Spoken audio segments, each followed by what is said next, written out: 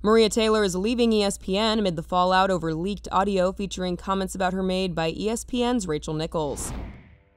Host and reporter Taylor, who has led ESPN's NBA pregame show NBA Countdown, is leaving the channel after the two sides were unable to come to terms on a new contract. ESPN chairman Jimmy Pitaro said in a statement, Maria's remarkable success speaks directly to her abilities and work ethic.